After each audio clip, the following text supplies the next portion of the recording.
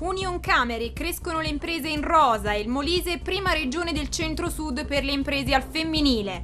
Decesso per disidratazione, atti sequestrati, i familiari del sessantenne deceduto al veneziale si rivolgono alla procura di Isernia. Campobasso, cambio della guardia al Mario Pagano, il dirigente scolastico Francesco Fasciano subentra al rettore Aldo Barletta. Calcio, esordio vincente per il Campobasso, Lega Pro, una doppietta di Morante stende l'Interreggio, Serie D Ok Lagnone, KO Termoli e Isernia.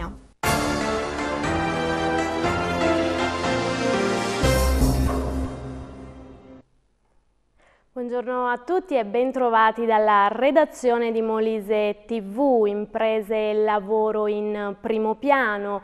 L'Unione delle Camere di Commercio del Molise fa il punto della situazione. Se da un lato in regione l'occupazione maschile segna il passo in maniera preoccupante, le donne del Molise sembrano resistere bene alla crisi. Buono è il risultato, infatti, il numero delle imprese in rosa. Secondo lo studio di Union Camere è sempre maggiore il numero delle donne che decidono di avviare un'attività nel nel settore dei servizi, ma vediamo il contributo.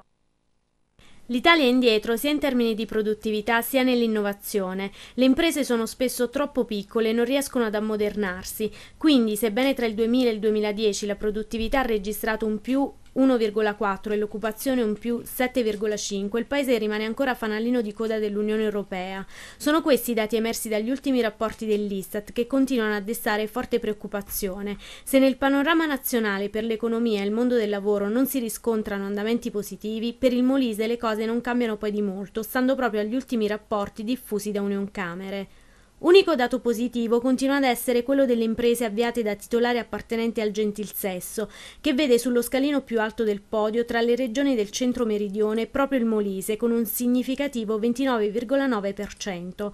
Non solo, sempre più donne scelgono di diventare imprenditrici e lo fanno da sole attraverso ditte individuali. In Molise la percentuale delle ditte individuali avviate da donne è pari al 78,6% e risulta essere la più alta nel sud Italia e nelle isole. Ancora poche invece in regione le forme imprenditoriali più complesse che vedono attardata la regione rispetto al resto del paese. Se 22 sono le imprese in più in Molise nel settore servizi, 131 sono quelle perse per l'agricoltura e 15 quelle dell'attività manifatturiera. Sul fronte dell'occupazione invece in Molise sono 2.690 le assunzioni previste dalle imprese nel corso del 2012, contro le 4.130 entrate programmate nel 2011, pari al 34,9% in meno di assunzioni previste. Dunque tra le regioni italiane il Molise è quella che prevede una contrazione maggiore collocandosi in ultima posizione. A fronte di 3.480 uscite il saldo programmato pari a 800 unità rappresenta il peggior saldo occupazionale dal 2009. Così come nel resto d'Italia, su questo rallentamento delle entrate previste potrebbe aver inciso l'esito ancora incerto al momento dell'indagine della riforma del mercato del lavoro. E ora la cronaca, arrestato per tentata violenza un 48enne originario di Trivento dopo aver palpeggiato una donna su un autobus urbano, è accaduto a Roma. L'uomo approfittando del gran numero di passeggeri che viaggiavano a bordo dell'autobus della linea 46 mentre stava percorrendo via nazionale ha rivolto le sue attenzioni su una 32enne di nazionalità moldava. La donna ha reagito immediatamente iniziando a urlare nel tentativo di sfuggire alle focose avance del maturo molisano. Per un caso fortuito sul mezzo si trovavano anche due carabinieri in borghese impegnati in un servizio antiborseggio. I militari dell'arma hanno immobilizzato e tratto in arresto il 48enne che stava tentando di fuggire. Oggi il processo per direttissima. Ancora la cronaca, panico e concitazione nell'ospedale Cardarelli di Campobasso, teatro della bravata di un 35enne già noto alle forze dell'ordine. L'uomo armato di pistola giocattolo si è presentato nei corridoi della struttura sanitaria dicendo di dover regolare i conti con la sua ex fidanzata. La giovane donna, terrorizzata, ha chiesto aiuto cercando di rifugiarsi in uno spazio più sicuro. Una volta scattato l'allarme sono subito intervenuti vigilanti che operano all'interno dell'ospedale, mentre l'uomo seguitava a inseguire minacciosamente l'ex fidanzata. Quando poi sul posto sono arrivati i due volanti del commissariato, l'aggressore ha pensato bene di darsi alla fuga facendo perdere le sue tracce e saranno i magistrati di Isernia a chiarire cosa è successo al sessantenne Rocco Di Santo, originario di Sesto Campano e deceduto lo scorso 22 agosto, sembra a causa di disidratazione. Di Santo era stato trasferito da una casa di riposo privato all'ospedale veneziale. A sporgere una circostanziata denuncia suo fratello che chiede di accertare se il decesso possa essere riconducibile a precise responsabilità della casa di riposo dove dimorava. Ma vediamo il servizio di Arianna Gentile. Rocco Di Santo era affetto dal morbo di Alzheimer, venne sottoposto ad un intervento chirurgico per un aneurisma cerebrale, ma dopo l'operazione le sue condizioni di salute peggiorarono. Così lo scorso 10 luglio la famiglia del sessantenne originario di Sesto Campano pensò di affidarlo alla casa di riposo del posto, dove il suo stato di salute migliorò. I familiari a questo punto decisero di riportarlo a casa, nonostante ai loro occhi appariva un po' dimagrito, ma la struttura privata vietò il trasferimento. L'assistente sociale impedì anche ogni contatto con l'uomo, richiesta che fece insospettire e preoccupare la famiglia, che iniziò così a chiedersi cosa stesse accadendo. Poi, il 15 agosto alle 22.30 venne trasferito all'ospedale veneziale di Isernia perché aveva la febbre alta. La sorella del sessantenne venne immediatamente avvisata dai sanitari che le dissero di non preoccuparsi perché Rocco non era in pericolo di vita. Ma quando il giorno dopo i familiari si recarono presso il reparto di medicina del nosocomio Pentro, si resero conto che il congiunto era invece in condizioni molto gravi. Non si trattava di una semplice febbre, infatti nella cartella clinica ora al vaio degli inquirenti si attestava che Rocco di Santo era stato ricoverato al Veneziale in condizioni di coma vigile da insufficienza renale acuta grave con stato di disidratazione.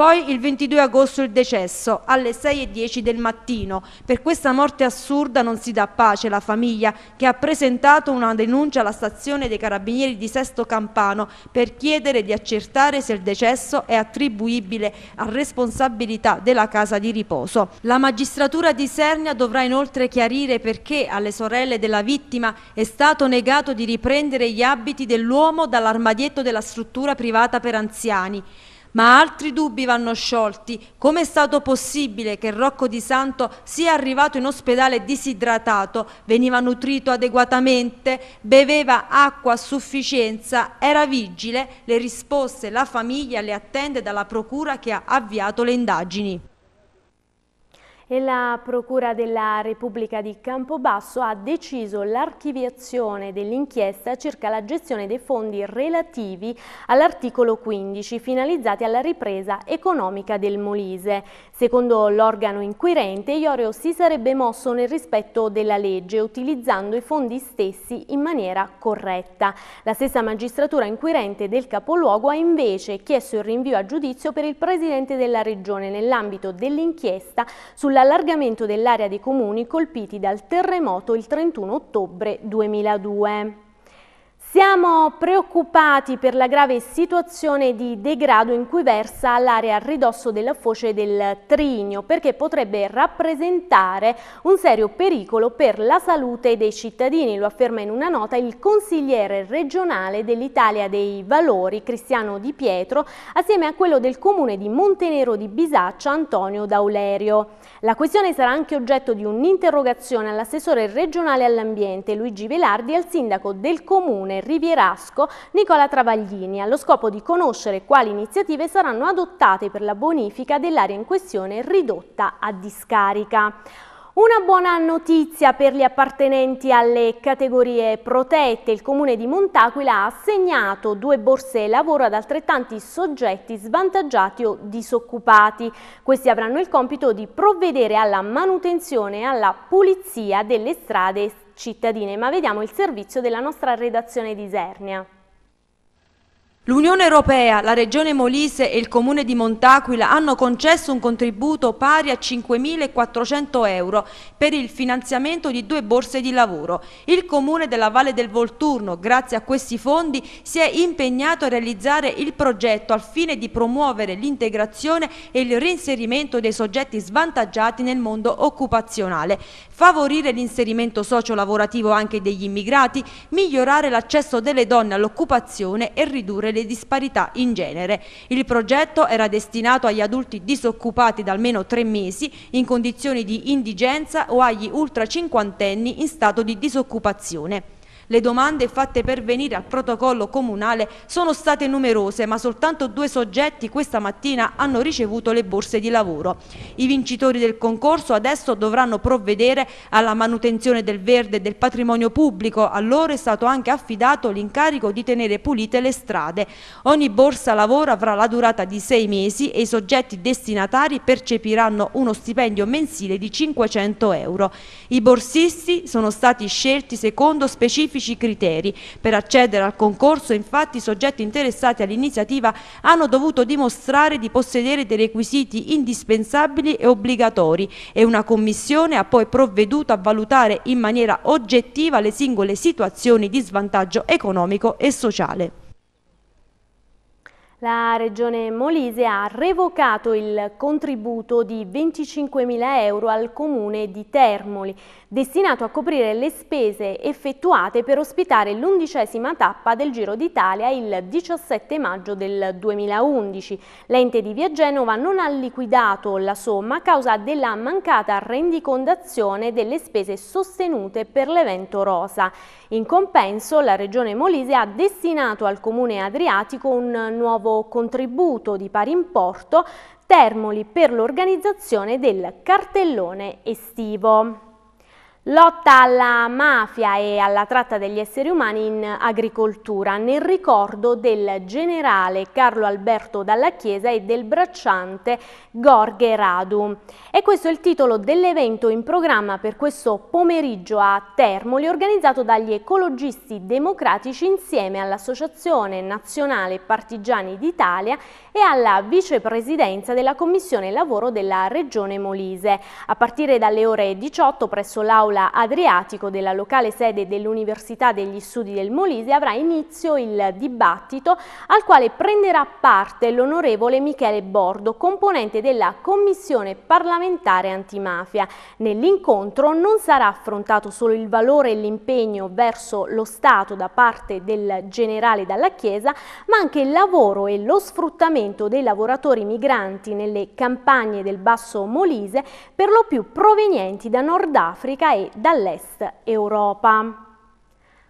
Cambio della guardia alla guida del convitto Mario Pagano di Campobasso con la riapertura dell'anno scolastico sarà il dirigente scolastico Francesco Fasciano a prendere il posto del rettore Aldo Barletta. La strategia operativa e l'offerta formativa del nuovo dirigente nell'intervista che segue. Il convitto nazionale Mario Pagano a Campobasso è una di quelle istituzioni che incarnano l'essenza del capoluogo di regione. Campobasso offre nel cuore della città una struttura immersa nel verde, dove migliaia di studenti nel corso dei decenni hanno vissuto i propri anni della gioventù. Il convitto nazionale Mario Pagano è tra gli addetti ai lavori un posto particolarmente ambito e dopo l'addio del rettore Aldo Barletta tocca al professor Francesco Fasciano prenderne in mano le redini. Mi sento fortunato ed onorato di essere il nuovo dirigente rettore del convitto nazionale Mario Pagano di Campobasso perché è una scuola prestigiosa e un patrimonio culturale e storico della città. Il rettore Fasciano punta ad evitare che il convitto rientri a far parte delle nuove normative sul ridimensionamento scolastico, puntando molto sulla sicurezza del personale all'interno della scuola. Uno degli obiettivi principali è il dimensionamento scolastico del Mario Pagano, perché il convitto nazionale Mario Pagano non può essere aggregato a un'altra scuola. Poi l'altro principale che mi interessa di più è uh, la sicurezza scolastica di tutto il personale, non solo degli allievi, degli alunni, ma uh, dei docenti, del personale ATA. E questo è uno degli obiettivi principali di cui ho parlato anche al signor Sindaco che a sua volta insomma, ha preso delle misure per il convitto nazionale Mario Pagano perché eh, avrà come tutte le altre scuole una corsia preferenziale per la sicurezza. L'altro aspetto principale è um, diciamo, il clima sereno, tranquillo che fino a ieri c'è stato e, e senz'altro continuerà. Tra le ambizioni di Fasciano c'è lo sviluppo del liceo europeo che dovrà fungere da traino per il convitto nazionale Mario Pagano. Ehm, l'obiettivo principale è il liceo europeo perché noi avevamo all'inizio um, dell'entrata in vigore dell'istituzione del liceo europeo circa 300 eh, alunni e quindi questo è un obiettivo principale, eh, diciamo, aumentare il numero affinché il convitto possa essere una scuola ecco, unica a sé come del resto tutti i convitti nazionali d'Italia sono scuola a sé, senza aggregazione. Certamente si mira un po' una formazione e una cultura europea. Eh, il convitto già eh, ecco, organizza diverse gite eh, europee, mm, diciamo in Bruxelles, in America, un, una crociera, anche perché dobbiamo migliorare le lingue. Oggi eh, la lingua è, è essenziale per tutti, per tutti i cittadini. E ora come ogni lunedì passiamo alla rubrica L'occhio che uccide a cura di Informa Molise a firma di Igor.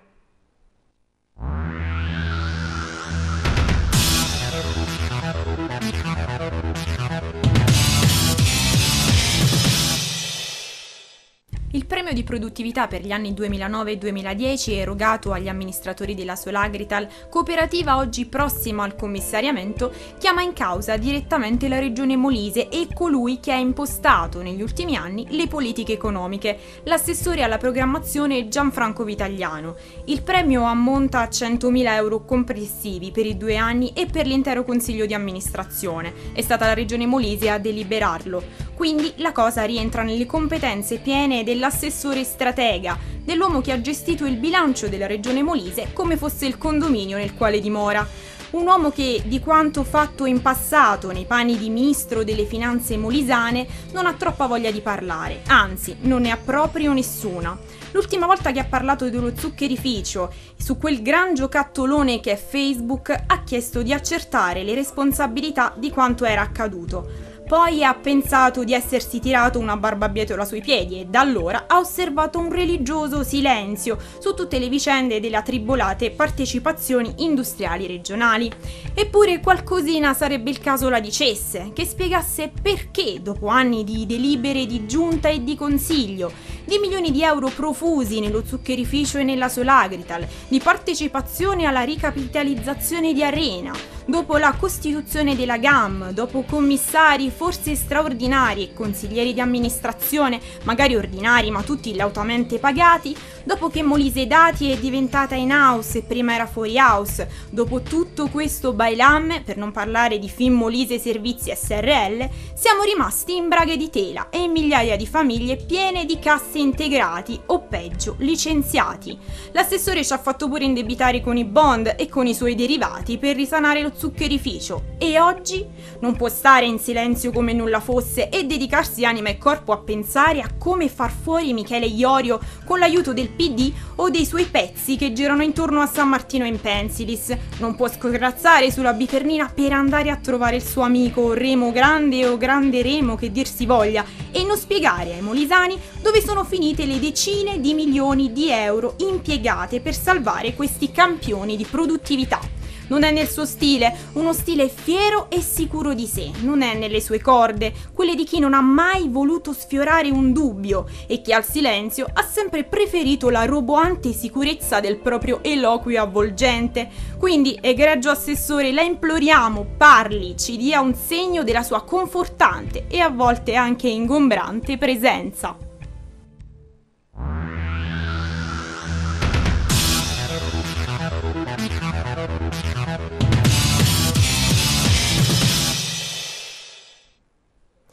No alla repressione contro chi contesta le destre, lo ha affermato il segretario nazionale di Rifondazione Comunista Federazione della Sinistra Paolo Ferrero, a seguito della condanna di una settimana di carcere emessa a carico di sette militanti antifascisti. Gli stessi il 28 ottobre dello scorso anno avevano manifestato senza preventiva autorizzazione, scandendo slogan e canti antifascisti contro un'iniziativa politica dei militanti isernini di Casa Pound. Per i sette la condanna è stata commutata in una sanzione pari a 1.350 euro ciascuno. E ora guardiamo insieme le previsioni del tempo.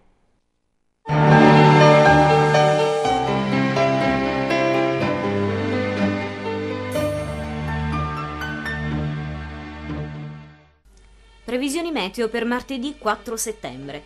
Non cambia il contesto, siamo ancora ai margini di un vortice centrato nei pressi della Sardegna, che si manifesta con una giornata variabile con rovesci diurni sulla dorsale molisana. Temperature in lieve calo nei minimi. Venti deboli moderati in prevalenza occidentali o meridionali, mari poco mossi. Temperature. Campobasso, minima 16, massima 22. Isernia, minima 15, massima 22. Termoli, minima 20, massima 28 gradi.